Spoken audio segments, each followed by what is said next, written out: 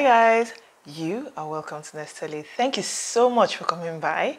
Today we're going to be discussing the book I Am Glad My Mom Died. Yo, this book is everything. Honestly, it is everything. Um, written by Jeanette McCurney, McCurdy. I don't know how to pronounce that name well. I listened to it on audio on Scribd.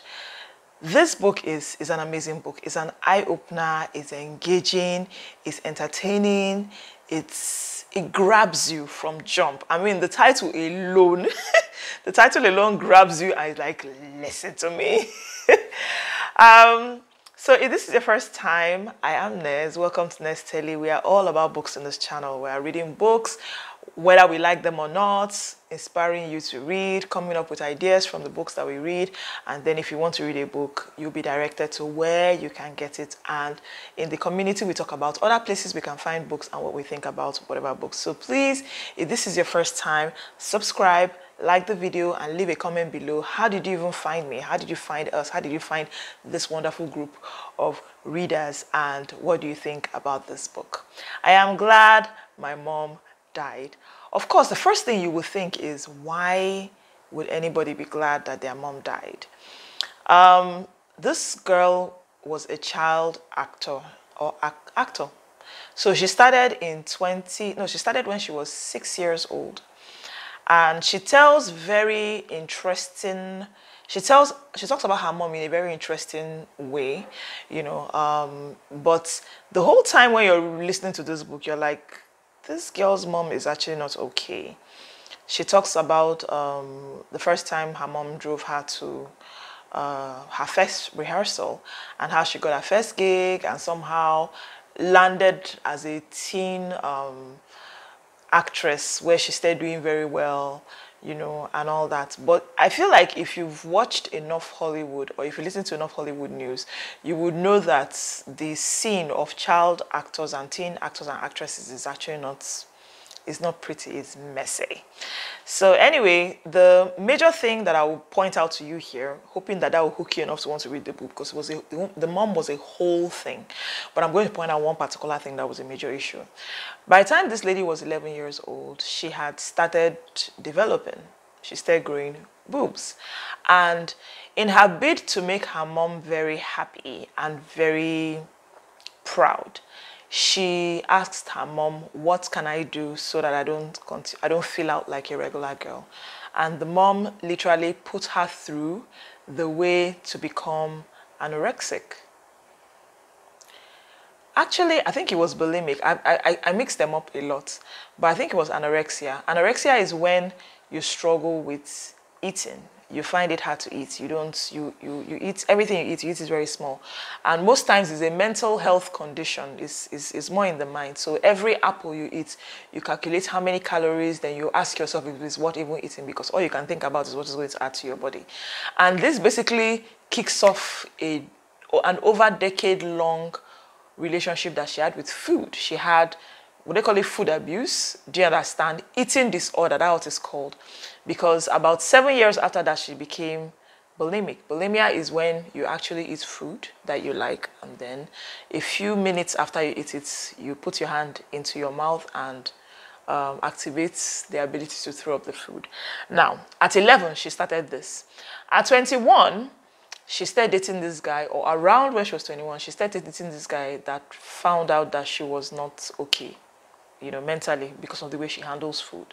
And, and she loved the guy so much. The guy said, you cannot, we cannot date if you're going to keep hurting yourself like that. So it's either you go and get help or we let go of this relationship. And she loved the man enough, or the, the guy, whoever it was, enough to try and go and get the help that she needed.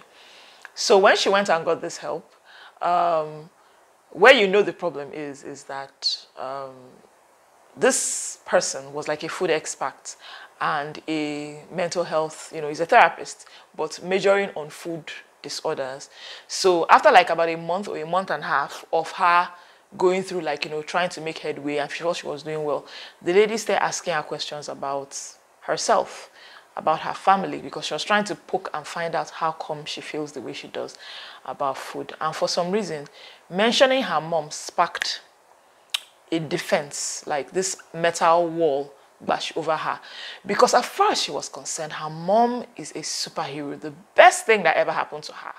Like without her mom, she won't be this successful act actress, even though she dreads the world and being able to take care of herself, you know, financially, you know, and all that. And honestly, the mother never, like, what generally happens with a, a lot of um, Hollywood child actors is that you find out that the family starts to eat the girl's money. That didn't happen to her.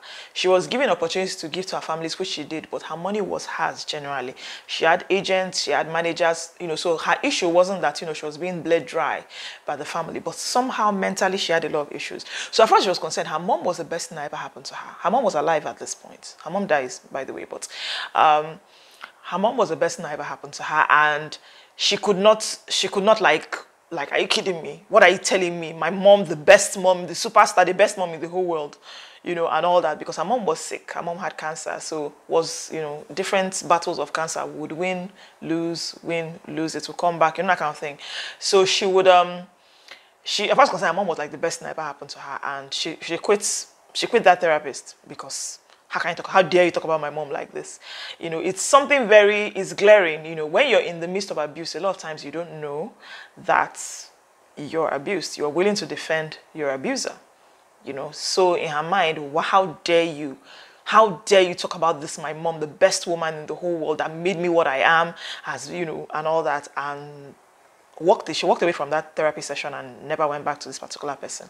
About three or four years after, um, she met another person. She somehow, I think, okay, she was in an airplane and she had eaten, she had finished binging on all the airplane food and a few minutes after I ran straight to the bathroom to do the normal ah. So she was still doing that to throw up the food and a tooth fell out. Now this was brand new information. I actually got to do some um, research on that because she, it turns out that um, the acid in your tummy, every time you throw up, if you throw up often enough, the acid starts destroying parts of your digestive system. So like your gullet or your esophagus, that's the pipe or the food goes down through, gets damaged. And in this case, it had damaged her tooth. So it had damaged it all the way down to the root that the tooth came out. She didn't even feel pain. Like blood was coming out. She did not feel, have you ever pulled tooth before? I pulled a tooth recently. It's one of the most painful ordeals. Like it's not pulling it out that is the ordeal, but the after. Do you understand? The discomfort and everything comes, but she didn't feel a thing. That is how rotten the her situation had got gotten. She didn't say exactly, or she said what tooth, but I don't remember. Maybe a molar, but she lost the whole tooth came out. You get that is how badly the situation had become, and she now thought to herself like, okay, so I need to do something about this. At this point, her mom had died, and she's still coming to reality of the fact that there was a hold on her that she knew nothing about. Her mom was a very, um, her mom was mentally ill as I was concerned. She had a, her mom had issues that needed to be taken care of, but she didn't take care of it. And somehow she took it on to this last, her last child, this girl. She had two older brothers. And you know, a lot of things came to question for me. Like, till this girl was about 16 years old or so, her mom was still giving her her bath and she lived with her family like her mom lived with her own family like her mom's mom and dad was there. She was going through that this girl jeanette was having going through um cycles you know she was she became ocd at one point. Like you know ocd where you you feel the need to knock three times instead of just once when you want to touch something. Instead of touching just you know when you point ch -ch -ch several times. And small small things start becoming quite a big issue for you. Now that's a whole thing i don't know anything about. I think I, at this point i have to actually read about it because i'm now curious what's ocd like.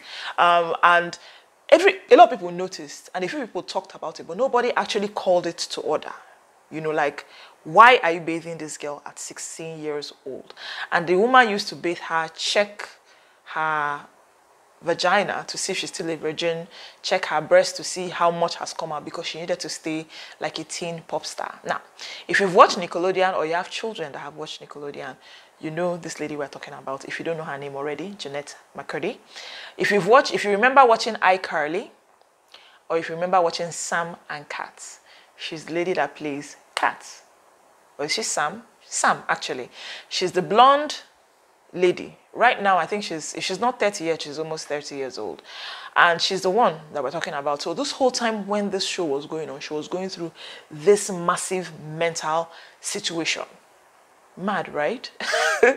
Anyway, that's it about this book. I hope that I've convinced you to read this book because it's worth the read. There's just so much to learn.